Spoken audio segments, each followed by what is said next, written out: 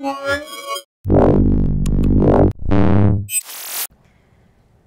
Scott here from Mobile Geeks. I'm at CES 2015 at the Intel booth. I'm checking out a new compute stick. And before I do that, I'm going to remind you that this video is powered by ASUS.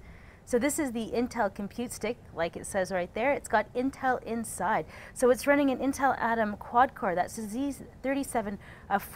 Uh, it's got 2 gigabytes of RAM and 32 gigabytes of eMMC storage on board, which you can fit Windows 8.1 with Bing, which can tell you that, well, this is something that's heading into your living room because we all know that we want a smart TV, but we have no idea what that means. So before you go spending way too much money, you might want to maybe just drop $150 on this stick with Windows to check out what it would be like to make your TV smart. So you could surf the web because this, well, it has Windows and all the things that you love from Windows goodness with Bing is right there. So you can also, uh, that's a USB port.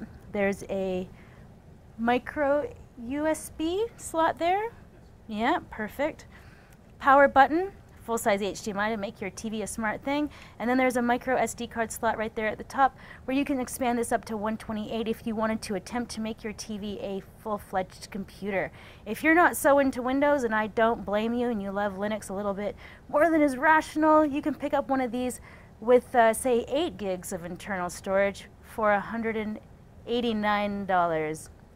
So this is Intel's Compute Stick. Should be available in March. Uh, so check below in the description for links to all of this goodness if you want to buy one. Don't blame you. I'm hoping to pick one up for my living room as well. Nicole Scott here from Mobile Geeks at CES 2015.